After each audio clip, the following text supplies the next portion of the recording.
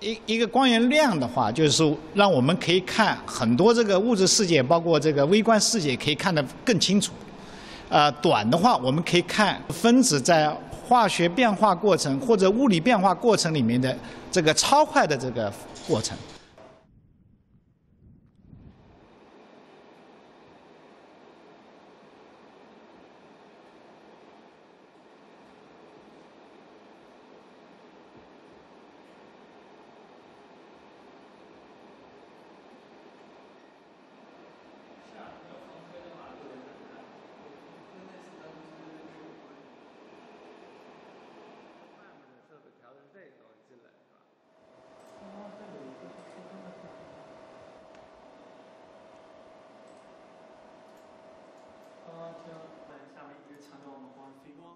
呃，就是这样的一个呃强有力的工具，就可以掌握整个